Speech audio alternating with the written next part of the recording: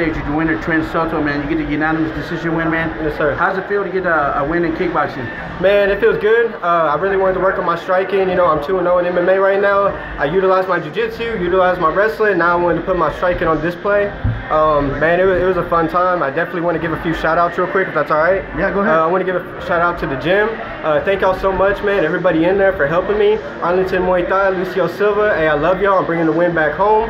Uh, I went to you know his hometown, and I'm bringing it back to Dallas. I want to give a big shout out to Dr. Phil and his wife Nikki. Uh, give a shout out to my dad, man. I love you so much. Thank you so much for helping me and supporting me through this. Same thing to my mom, my sister, my whole family. Uh, you know, I also want to give a shout out to somebody who can't be here with me. It's been a year since I've seen my daughter, man, and I do this for her. I love her so much. I'm in my other daughter's life, and nobody knows how hard these fucking fight camps are. Every day I push it every day. You know, I, I want to give up. I don't want to, you know, I think of other options, but I, it, it's hard to give up on something you're great at. So I'm just gonna keep being great, and I love everyone back home. And thank y'all so much for everything y'all do for me.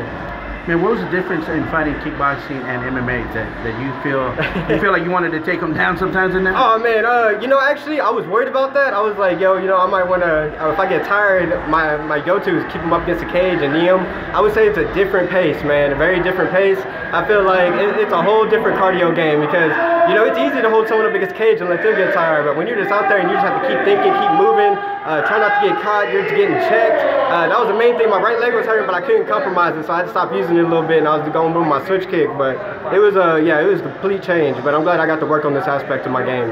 Man, it was fun to watch you out there, man. You've already gave your shout outs, man. Yes, Can't sir. wait to see what's next for you, Trent, man. Best of luck to you, brother. Yes, sir. Y'all go ahead and follow me on uh, Psycho Soto MMA, and I appreciate all the support. I do this for everybody at home. Thank y'all.